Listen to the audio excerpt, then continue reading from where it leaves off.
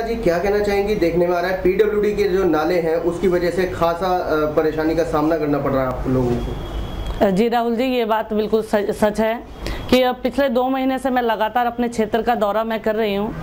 और दौरा करने के दौरान मैंने ये देखा है कि एनसीडी वाले कर्मचारी जितने भी हैं वो अपनी ड्यूटी बहुत अच्छे तरीके से निभा रहे हैं। लेकिन जहाँ जो गंदा पानी है यदि वो बहता हुआ बड़े नाले की तरफ़ जाता है तो वहाँ रुकावटें पैदा होती हैं। इतना कूड़ा भरा होता है पीडब्ल्यूडी के नालों में और फ्लड के नालों में कि हमारा छोटी गलियों का पानी उसमें जा ही नहीं पाता और समस्याएँ हम एनसीडी के लोगों को भुगतनी पड़ती है। मानसून सर पे है फिर जनता तो परेशान है ही। ये बात भी सही है। जनता बिल्कुल परेशान है क्योंकि उन्हें सिर्फ़ एक ही नज़र आते हैं यदि या तो निगम पार्षद कि उन वही काम करेंगे। उनको ये जानकारी नहीं है कि कौन सा नाला पीडब्ल्यूडी का है कौन सा फ्लड का है और कौन सा ही एनसीडी के अंडर आता है। उन्हें तो सिर्फ़ सफ़ाई से मतलब है और सफ़ाई हम लोग पूरे अच्छे तरीके से कर रहे हैं पर शिकायतें जहाँ की हैं उस सरकार उस चीज़ पे ध्यान नहीं दे पा रही है। आप लोगों ने मेयर मैडम का भी दौरा कराया लेकिन फिर भी वही ढाक के तीन पर। बिल्कुल तेरह तारीख को हमारे यहाँ पे मेयर साहिबा का दौरा था।